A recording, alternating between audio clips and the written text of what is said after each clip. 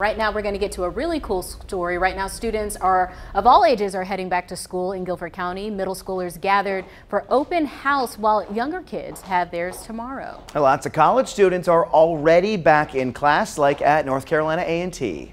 During move-in last week, excited students and supportive families gathered on campus showing off their Aggie pride. But for one North Carolina family, it runs deeper than that. WFMY News 2's Jalen Gilkey caught up with an A&T family that's four generations long.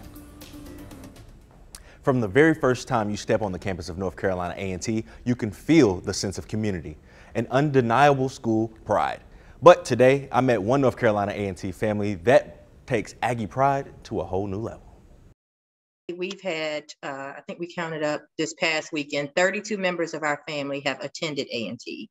And uh, I believe we've had 26 graduate with two currently enrolled students. So for me, A&T truly does mean family. For this family of Aggies, North Carolina A&T State University is much more than a place to get an education. In your opinion, what does A&T mean to you and your family? For all of us, I think it may, means uh, home, family, good times, and connections.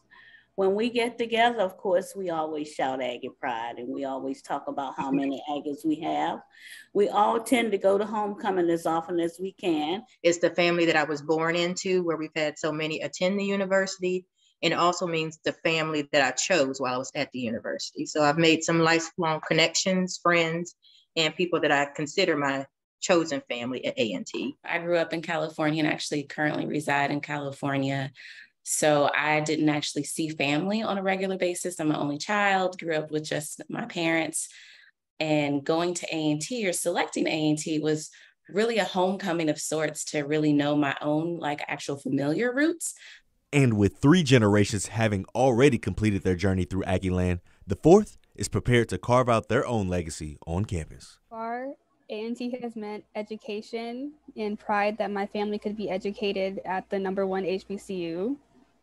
So I'm just excited for this school year. And although each generation's experiences may be different, one thing will always remain the same. So one, two, three. And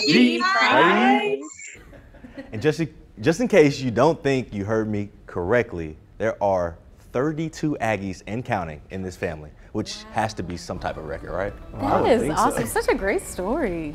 I, that, that is, uh, so my father went to Carolina and I did, and of my four kids, now the twins, but totally different. Mm -hmm. I only have two more shots left. There you I, go. I'm putting pressure on Tyler and Drew. One of you, please. I was go. wondering how that would be. You know, if there's if there's some pressure that you put on the kids. I mean, I'm, I'm a first generation college student, so I didn't have any influence from parents or anybody. Mm -hmm. um, but I mean, how do you how do you go about that? Well, and uh, so I told them, you know, it, it, depends on what you're majoring in. You know, there are some schools that are better at mm -hmm. one thing. That's why my kids, one went to Savannah, one went to Tennessee, because mm-hmm. their particular majors they needed to go there, and I'm okay with that. But it would be nice. What know? I think is cool about this is it's just like a big reunion for everyone. You think about football games, you think about homecoming, you think about move-in day like this. It's just something that they can always come together and celebrate as a family. Yeah, and so GHO happens to fall on several members of the family's birthday around oh. that time every oh. year. So every Sunday at the end of GHO, they all go do brunch together, celebrate each other's birthdays, and just love on each other. So it's just it's just amazing. When I heard this story, I was like, I gotta jump on this. Yeah, I gotta get that. I have to. I love how y'all all did the the chant at the end. Yeah, Aggie Pride. Awesome. Yeah, that's awesome. it's loud and proud, baby. you know, it's funny. I know you're a sports guy like me, and, and so I grew up in my family. We would all watch the Carolina games together, and I can imagine that family.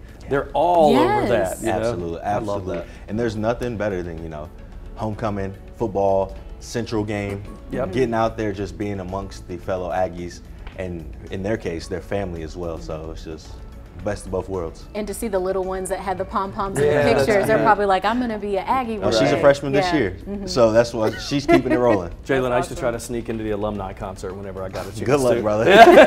oh, I had I had contacts. They got me. You in. are the man. They got you me. Are. Eric you know everybody. I, I wanted to see. I wanted to see the. Well, that was my music. That's why I can't go to the new stuff.